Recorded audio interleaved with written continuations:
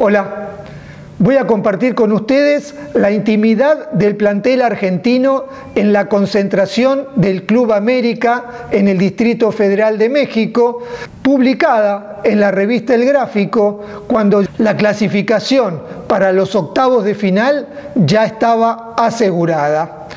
La nota se llamó La Argentina que no se ve por TV.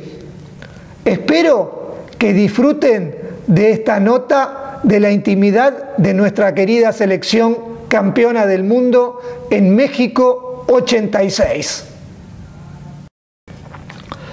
El clima de adentro. Lo de Batista fue diferente. Diríamos una cosa del momento, una bronca pasajera.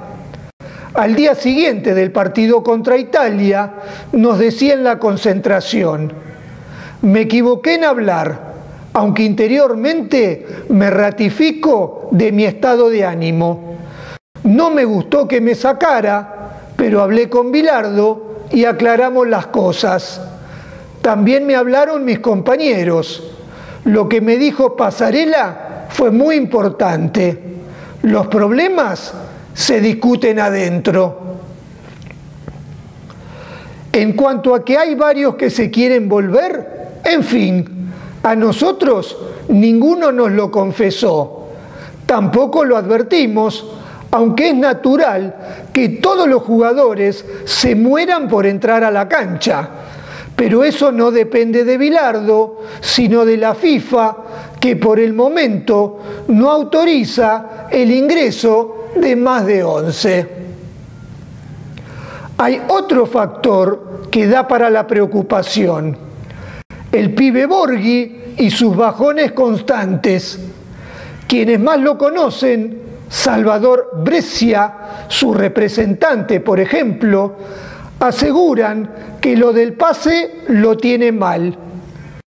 Como se sabe, Argentinos decidió venderlo a Italia entre paréntesis, al Milan, pero en realidad al Ascoli, o al Ascoli, pero en realidad al Milan, aparentemente sin consultarlo. Entre paréntesis, ¿será posible tan elemental falta de respeto? Borghi quiere jugar en el Racing de París, que habría igualado la oferta italiana pero la falta de noticias concretas por parte de su club lo perturban más de la cuenta. Es cierto, se lo ve caído fuera de la cancha, tanto como adentro, especialmente en el partido contra Bulgaria, del que fue excluido con toda lógica. Pero a pesar de todo, el clima es bueno.